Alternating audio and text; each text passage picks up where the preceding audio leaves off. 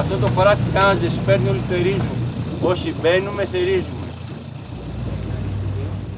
Σκεφτόμουν ότι η μορφή αυτή που θέλουμε να κάνουμε της πείνας, να θυμίζει με πείνα, αλλά να θυμίζει ταυτόχρονα και κάπως την κίνηση από τα δίχτυα όταν τα βγάζεις από τη θάλασσα.